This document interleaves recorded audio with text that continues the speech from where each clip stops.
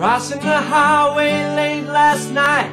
He should have looked left and he should have looked right. He didn't see the station wagon car. The skunk got squashed and there you are. You got your dead skunk in the middle of the road. Dead skunk in the middle of the road. Dead skunk in the middle of the road and he's thinking to high heaven.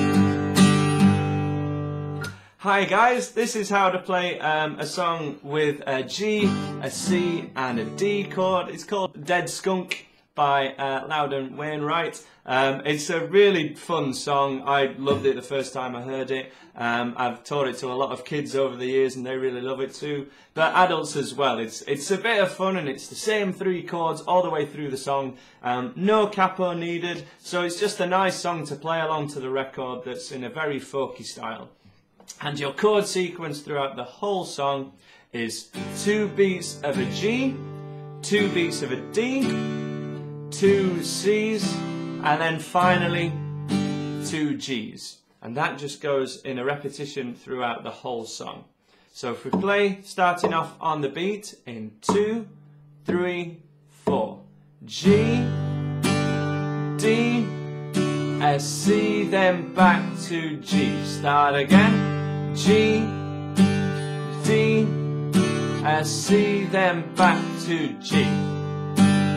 Now we want to try and play um, this with a folky strumming pattern, so if you need a bit of help changing between these chords, here's a couple of tips for you. Um, when changing from a G chord to a D chord, it's best if we go for this kind of alternate G. This may be the standard G that you've gone for in the past, or this way, maybe a way that you know how to play a G. But I would recommend, because G to D happens an awful lot, if you play a G with your first, second fingers um, up at the top, and then your third and little finger on the top two strings at the third fret here, that means that we can keep your third finger down when we change between a G and a D, which is really handy for super quick changes in a lot of folk songs which happens a lot, and that third finger just stays down the whole time. It's also really handy for classic rock guitar as well, um, in kind of an ACDC style, um, because those two chords get changed between really quick.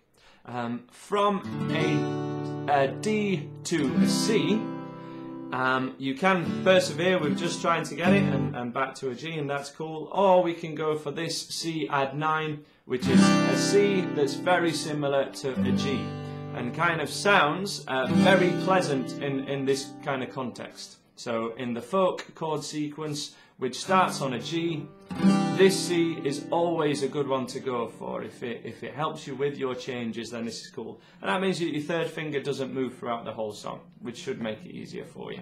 If it's brand new and you're used to doing a G another way, then of course it's going to be tricky at first, but in the long run, there are always these um, other options that you have to, to play certain songs, mainly for a certain sound, but um, also just to make it easy for yourself. So there's nothing wrong with that. Um, so play from the top, which what with whatever way you want to, to play with a G to be able to play it along to me, but they're the ways that I recommend. Three, four.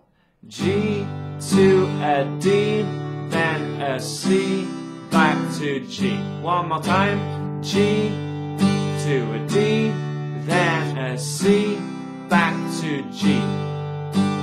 Dead skunk in the middle of the road.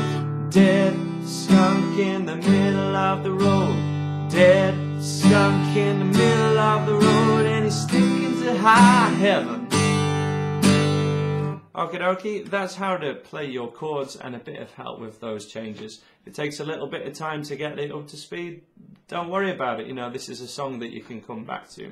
Um, if you're rocking and this is sounding pretty good, we can do it with the folk strumming pattern that we've covered in a few of these videos now. Thicker strings on the beat and everything on the offbeat. So one and two and three and four and that will be two thicker string everythings, thicker string everything twice, then to D,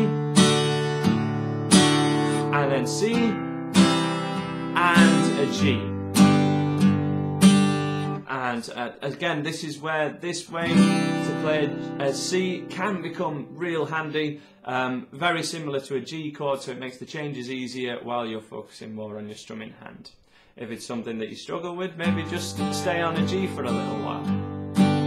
Maybe stay on the G chord, but try and get your strumming hand up to the tempo of the song.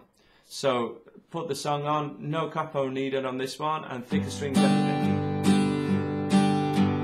One and two and three and four and if you sometimes if you want to just focus on your strumming hand, what you can do is mute your strings totally. So here I'm just um, touching my strings, so um, my fingers are touching the strings, but not the fretboard, which will mute them, and I can just hear what my right hand is doing percussively.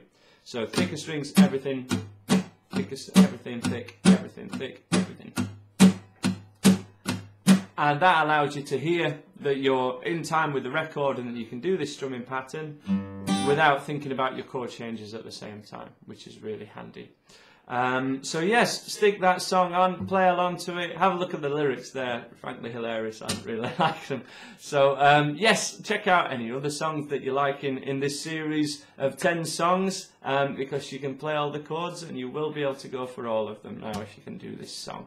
And uh, please subscribe so that I make you more videos, and hopefully I'll see you again.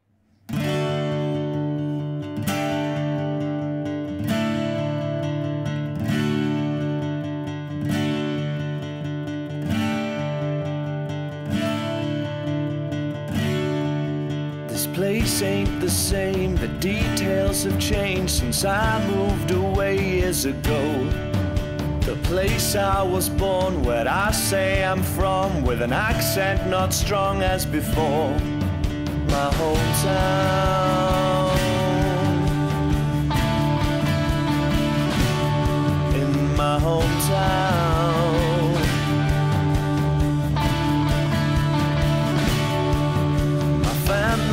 I hear my memories, I hear my heart always is in this town. Changing from my background, an old mining town,